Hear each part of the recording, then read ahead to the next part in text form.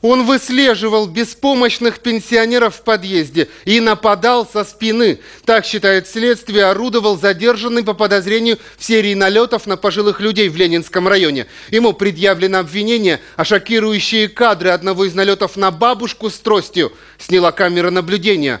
Подъезд многоэтажки. Старушка достает почту, а мужчина прошел мимо. Неожиданно разворачивается и нападает со спины. Бабушка оказать сопротивление не может, падает на ступеньки. В этот момент налетчик забирает золотые украшения. Сережки вырывает вместе с мочками уха.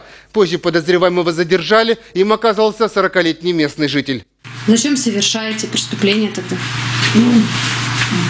По версии следствия, золотые украшения он сдавал в ломбард. Там их и нашли. Установлено 8 нападений на пожилых женщин. Как считают сыщики, похитил золотых украшений на 113 тысяч рублей.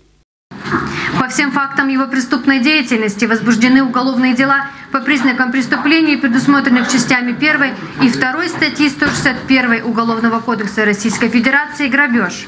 Обвиняемый ранее неоднократно судим за аналогичные преступления и имеет непогашенную судимость. Уже вскоре его судьбу будет решать суд.